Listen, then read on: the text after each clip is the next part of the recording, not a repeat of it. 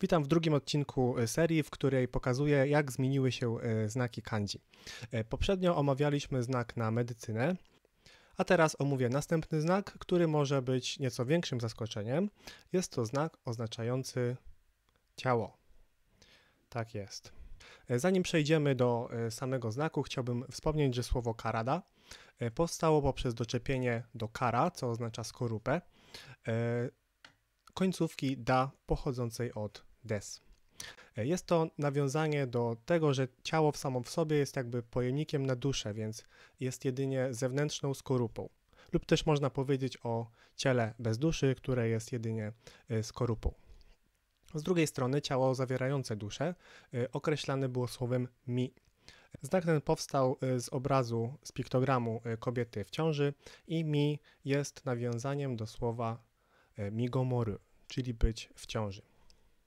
Jest to prawdopodobnie e, połączenie e, mi oraz, oraz komoru, e, które oznacza przebywać wewnątrz. Na pewno dużo osób zna takie słowo jak hikikomori, określające osobę, która jest jakby cały czas właśnie siedzi w domu.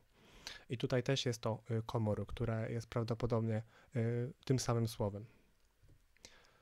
Można również spotkać e, karada zapisane w ten sposób, e, co prawdopodobnie oznacza ciało wraz z duszą. Oprócz tego spotkałem się też e, z takim znakiem, który, które jest tak zwanym zokuji, czyli nieformalnym wariantem jakiegoś kanji. A teraz wracając do, omawianych, do omawianego znaku, forma tradycyjna to kolejny przykład znaku z grupy Keisei. Tym razem zaznaczenie odpowiada lewa strona, gdzie znajduje się znak na kość, czyli hone. E, prawa strona w tym przypadku odpowiada za e, czytanie. Część osób może też kojarzyć to słowo z takiego, czy ten znak z takiego właśnie słowa jak yutaka, czyli bogaty, obfity w coś. Jednak tutaj znak ten pełni jedynie funkcję, daje on odczyt oniomi. Y, te czytania są małe znane y, i nie w każdym słowniku można je zobaczyć, ale jak dobrze po, poszukamy, y, znajdziemy odczyt day, który później zmieni się w tej i taj. I dzisiejszy znak powstał z tak jakby tak zwanego slangowego, aczkolwiek błędnego uproszczenia tego znaku. I taki uproszczony zapis po japońsku nazywa się ryakuji. I ten dzisiejszy się po prostu przyjął.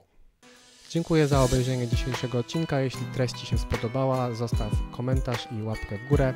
Pamiętaj też o subskrypcji kanału i zachęcam do obejrzenia pozostałych odcinków z tej serii.